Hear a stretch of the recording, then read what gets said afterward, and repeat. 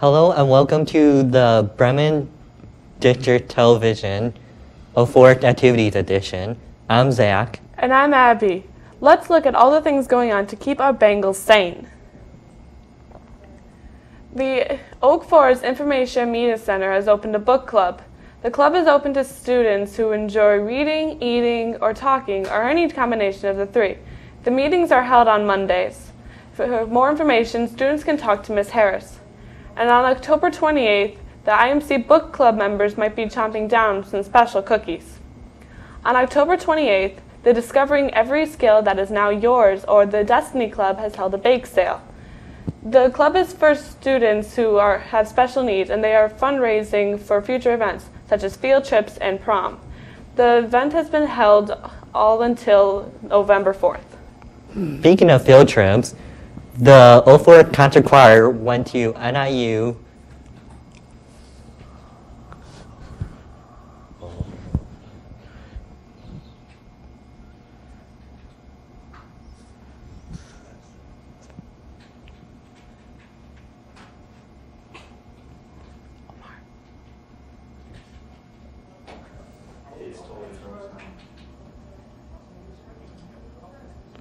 Omar.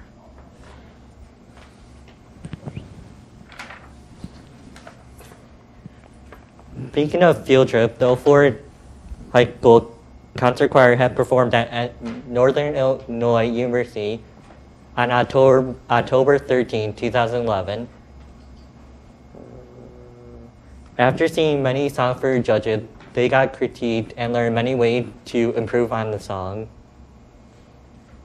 On October 31st, with everyone getting ready to gorge out on candy, one club is kicking the event off early. It's the Business Professionals of America. The BPA is a club to groom the future entrepreneurs of this country. And what better way than through candy? The event is going on all day.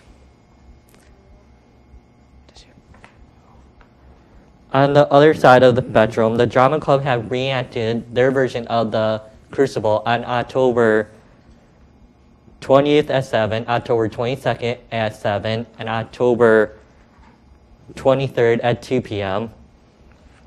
at 04 Tycho. According to the drama club president, the cast have the play has been casted very well. Thank you for joining us this month. Be sure to like us on Facebook at Bremen District Television 228 or find us online at www.bdtv228.com. For Zach, I'm Abby. See you around later. Turn towards me. You have to start talking.